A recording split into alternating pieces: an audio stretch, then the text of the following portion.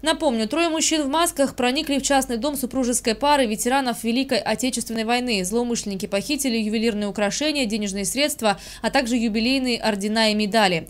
В настоящее время двое подозреваемых задержаны и заключены под стражу. Оба сочинца, один из которых друг семьи, проживающий по соседству.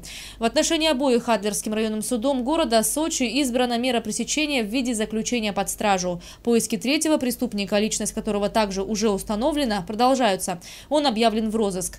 Местонахождение похищенного имущества также устанавливается.